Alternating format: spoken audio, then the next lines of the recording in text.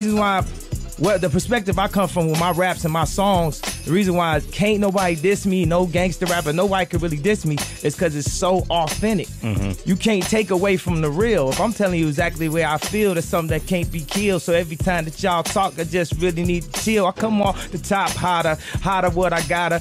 Travel the planet, a lot of people won't understand it. They mind is boxed in. They locked up.